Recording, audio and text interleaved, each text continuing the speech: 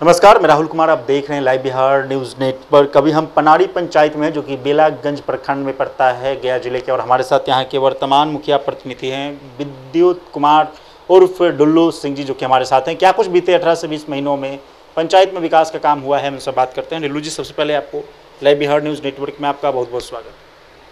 बोलिए। लाइव बिहार में को मैं धन्यवाद करता हूँ कि पटना से चलकर कम से कम देहात के दूर दराज समाचार पूछने के लिए आई है। इसके लिए मैं आप लोग सभी टीम के अतिथियों को सह मन धन्यवाद करता हूँ। सबसे पहला सवाल हम नल जल योजना पे करेंगे। क्या लग रहा है नल जल योजना की स्थिति क्या है आपके पंचायत में?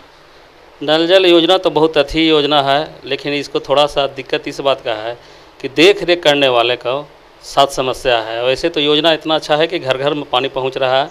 इसके लिए हम लोग पीएचडी को हैंडओवर कर दिया गया है। क्या लग रहा है पीएचडी के जो अधिकारी हैं जेई हो गए या फिर एग्जीक्यूटिव हो गए या फिर जो कर्मचारी निचले वर्ग के जो कर्मचारी वो आते हैं यहाँ विज़िट के लिए? नहीं पीएचडी के जब से हुआ है तब से समस्या बढ़ गई है यहाँ।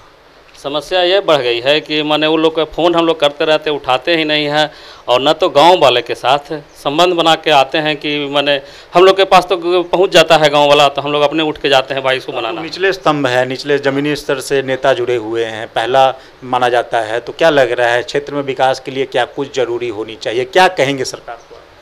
हम सरकार को कहेंगे कि ज़मीनी स्तर पर जिस जिस तरह से पहले वार्ड को सचिव को बना कर दिया था नल जल चलाने के लिए वही अच्छा था। वो उसके पास समस्या तुरंत डायरेक्ट अपने जाकर देखता था। यहाँ हम लोग पीएचडी को कहते हैं वो जेई को कहता है वो कब आता है कि नहीं आता है पानी बहते रहता है। हाँ इस तरह की समस्या है घूम के देखिए पंचायत। पीआरडी सही है पीएचडी के मुकाबले? हाँ पीआरडी सही है।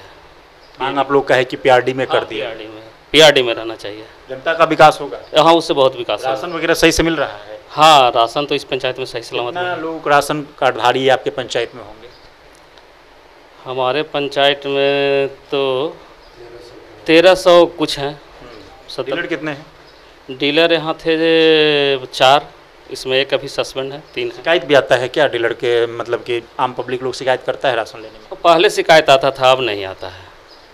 पहले आता था जिस समय अंगूठा नहीं लगता था उस समय आता था शिकायत लेकिन अब जब से अंगूठा लगने लगा है तब से नहीं शिकायत आता। वगैरह करवाए पीसीसी पीसीसी नहीं कराए हैं मनरेगा से कुछ कार्य करवाए हैं। कितना क्या क्या हुआ है मनरेगा में आपका? मनरेगा में एक खेल का मैदान बन रहा है और हाई स्कूल का बाउंड्री हो रहा है।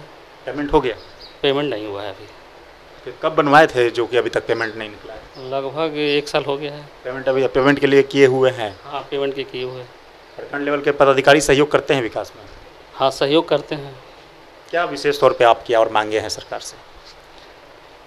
विशेष रूप से मांग ये है कि इसकी जो है जो मुखिया को जो पावर ये दिया जाए कि जैसे पंचायत में ये पावर ख़त्म कर दिया गया है कि मुखिया हाँ हमको लगता है कि ठेकेदार बना दिया गया है केवल नली गली बनाइए।